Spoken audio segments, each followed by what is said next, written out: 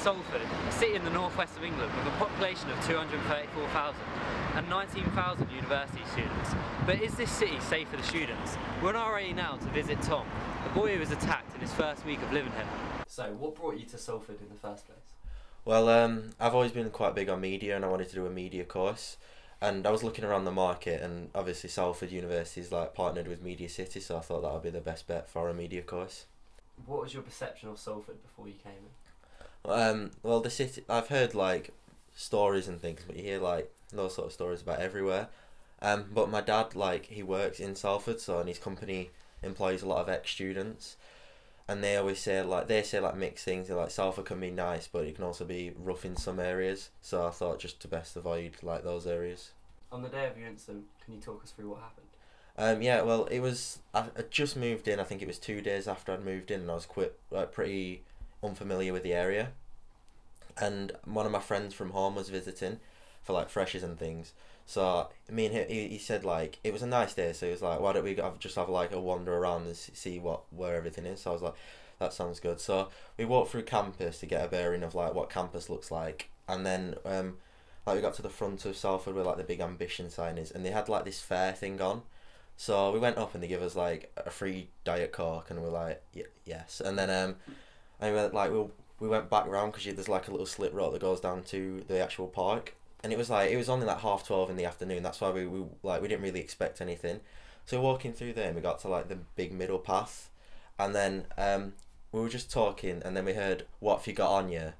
So we were like, we kind of both stopped and like looked around, and we didn't we didn't really think he was talking to us. And then we saw somebody like coming towards us, so we were just looking at him, and he was like, "What have you got on you? What have you got on you?" And then we were both like, um, and then he pulled that like we saw in his right hand that he pulled out like a little knife, and he was like, "What have you got on you?" So we're like, me and my friend both froze, and we're like, "Oh, oh no!" And then um, he kept repeating like, "What have you got on you? What have you got on you?" And we, we both like we had nothing on us because we left everything back in the flat. So we both like we just completely froze and we like weren't moving. And then I think he realised that we didn't actually have anything on us, and he knew it'd be too much trouble. So he quickly like put his knife away and ran off. And then we went to the reception of Peel Park and just told them what had happened. Peel Park is an area in Salford known for crimes, muggings and attacks. However, after a recent campaign by university students, they have installed new lights.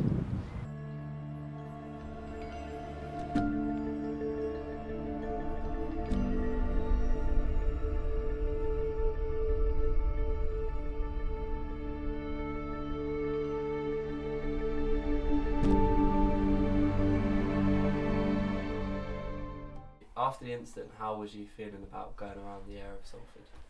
Um, I was a bit like I was a bit more cautious. Like I was definitely worried about it happening again and being in that situation because I completely froze.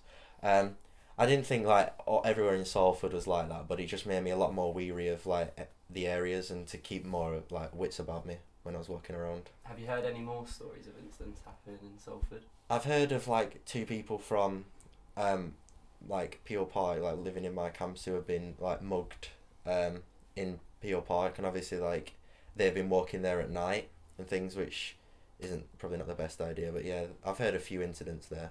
So the area of Peel Park, like how would you describe it? Um, like during the during the day, like you never think anything about it. It just looks like a standard park. But at night, because my like building that I live in is facing outwards, like my window faces towards Peel Park, and you can't see anything in there because they've only got like the outsides lit. So inside, like it just it just doesn't look like a very inviting place really. Like you can anything could happen in there, and no no one could see it.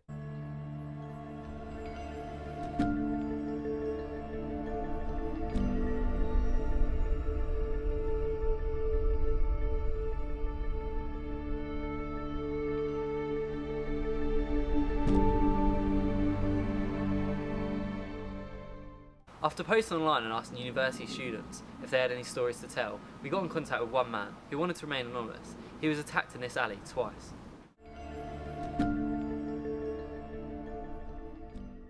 So, could you please tell us about your incidents? Well, as I said, I, I, moved up here in September and um, nothing, I, I'd had no problems at all in Salford. I'd not had any direct problems with me, nothing had happened to anyone I really knew, like in Salford anyway. Um, first term, went home for Christmas, came back, for second term, and I went out on a night out with a couple of friends from Manchester Metropolitan, and um, I decided after the night I walked home back to uh, Bramall Court to meet some other friends, and literally there's a there's a lane next next to a park that's right directly next to Bramall Court, and it's sort of divided into two lanes. And as I got to the second lane, uh, three lads who were just stood by the wall just sort of stepped out in front of me, and I knew that it was what they were doing.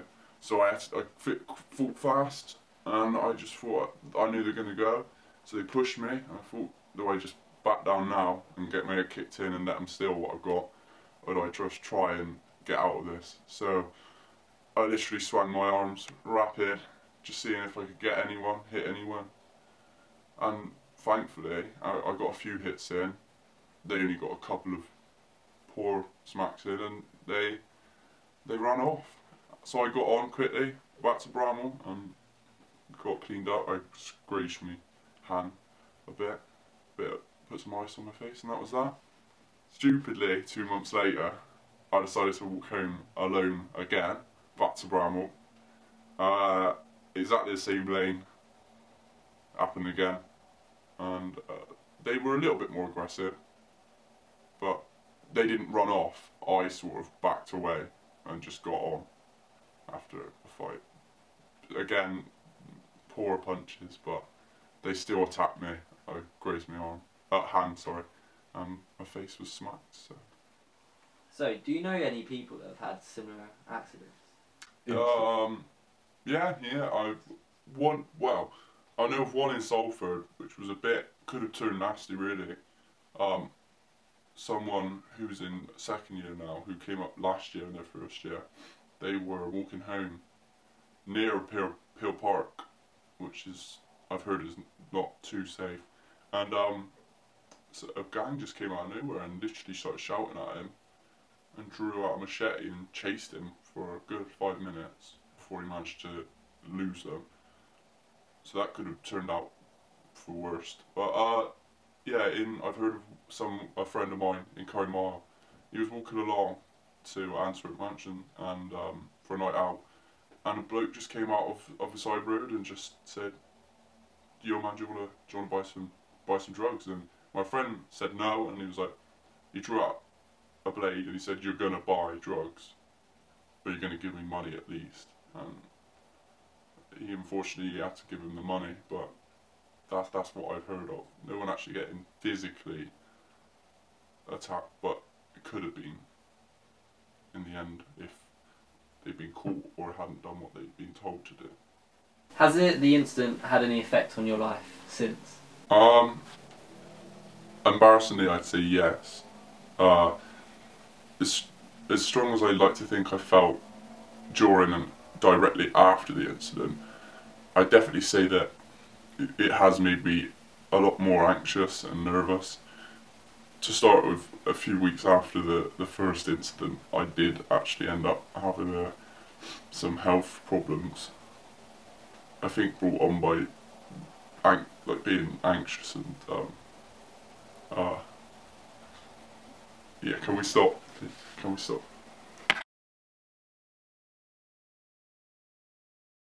We was contacted by Dimple Mira John, an ex-Salford student currently living in India.